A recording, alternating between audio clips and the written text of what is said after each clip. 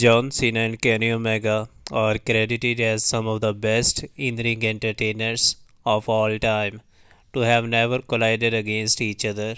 However, some conversations lead to the coming in each other's crosshairs with Kenny Omega borrowing a page out of Cena's playbook recently. Kenny Omega took to his Twitch stream to express a deep admiration for John Cena.